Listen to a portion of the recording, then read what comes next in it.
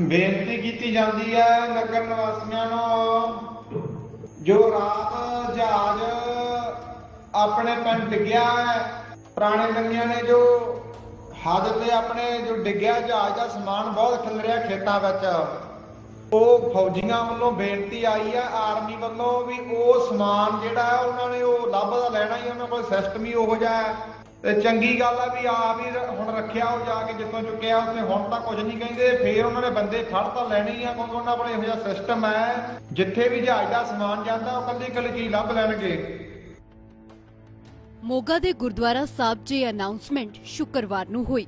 ਹਾਦਸਾਗ੍ਰਸਤ MiG 21 ਦੀ site inspection ਦੇ ਲਈ ਆਈ ਟੀਮ ਨੂੰ ਲੜਾਕੂ ਜਹਾਜ਼ ਦੇ ਕੁਝ ਮਹੱਤਵਪੂਰਨ ਪੁਰਜੇ ਨਹੀਂ ਸਨ ਮਿਲ ਰਹੇ।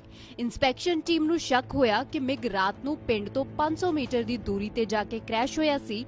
ਸਵੇਰੇ ਆਲੇ-ਦੁਆਲੇ ਦੇ ਪਿੰਡਾਂ ਦੇ ਸੈਂਕੜੇ ਲੋਕ ਸਾਈਟ ਤੇ ਆਏ ਸਨ।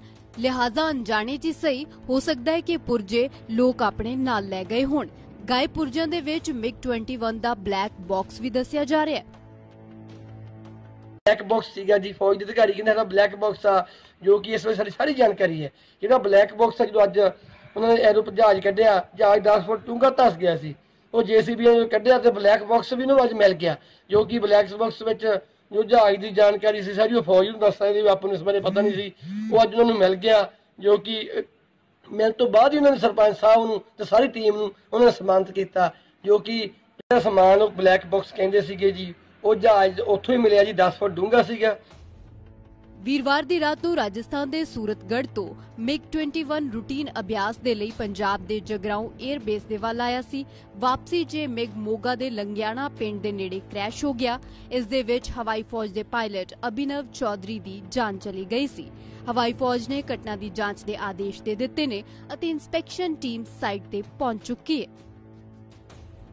ਕੇ ਤੇ ਸਮਾਨ ਦੇ ਦੇਣਾ। ਜੋ ਸਮਾਨ ਸੀਗਾ ਆਈਪੈਡ ਸੀ ਜੀ ਐਪਲ ਦੀ, ਇੱਕ ਇੱਕ ਦੂਜਾ ਸੀਗਾ ਜੀ, ਸ਼ੀਸ਼ਾ ਸੀ ਜਹਾਜ਼ ਦਾ ਜੀ, ਤੇ ਇੱਕ ਪੈਰਾਸ਼ੂਟ ਸੀ, ਕੁਝ ਹੋਰ ਸਮਾਨ ਸੀ, ਇੱਕ ਵਾਚ ਸੀ, ਉਹ ਸਾਰਾ ਸੀ ਅਧਿਕਾਰੀਆਂ ਦੀ ਅਰ- ਲੈ ਕੇ ਰਿਸੀਵਿੰਗ ਨੂੰ ਸੌਂਪ ਦਿੱਤਾ। ਜੋ ਕਿ ਸਾਡੇ ਗੁਰੂ ਘਰ ਦੀ ਲੌਂਚਮੈਂਟ ਹੋਈ ਆ, ਉਹ ਫੌਜ ਪ੍ਰਸ਼ਾਸਨ ਦੇ ਅਧਿਕਾਰੀ ਆਏ, ਉਹਨਾਂ ਨੇ ਲੌਂਚਮੈਂਟ ਕਰਵਾਈ, ਬਾਬਾ ਜੀ ਨੇ ਲੌਂਚਮੈਂਟ ਕਰ ਦਿੱਤੀ। ਜੋ ਜਹਾਜ਼ ਦਾ ਜਿਹੜਾ ਸਮਾਨ ਸੀ, ਉਹ 15 ਤੋਂ 20 ਕਿੱਲੇ ਖਿਲਰਿਆ ਹੋਇਆ ਸੀ। ਜੋ ਕਿ ਫੌਜ ਦੇ ਅਧਿਕਾਰੀਆਂ ਨੂੰ ਡਰ ਸੀ ਵੀ ਜੋ ਸਾਡਾ ਸਮਾਨ ਹੈ ਕੋਈ ਲੈ ਨਾ ਜਾਵੇ। ਉਹਨਾਂ ਨੇ ਲੌਸਮੈਂਟ ਕਰਵਾਤੀ, ਬਾਬਾ ਜੀ ਨੇ ਕਰਤੀ, ਜੋ ਕਿ ਉਹਦੀ ਆਡੀਓ ਕਲਿੱਪ ਬਣ ਕੇ ਲੋਕਾਂ ਦੇ ਪਾ ਕੇ ਸਾਡੇ ਪਿੰਡ ਨੂੰ ਬਦਨਾਮ ਕੀਤਾ ਗਿਆ।